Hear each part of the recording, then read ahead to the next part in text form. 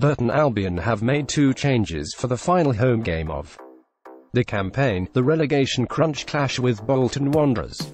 Damien McCrory has not recovered from a shoulder injury in time and is replaced at left-back by Ben Turner, while Marvin Sordell comes into the starting 11 in place of Joe Sbarra after making a telling late contribution at Sunderland last weekend. The shape remains the same, with John Brayford and Turner the fullbacks, either side of Tom Naylor and Kyle McFadzean.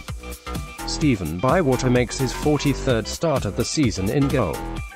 In midfield Manchester City loanee Jacob Davenport will play the holding role behind a four of Sordell, Luke Murphy, Hope Akpan and Lucas Akins, who switches from the right flank to the left to accommodate Sordell's return.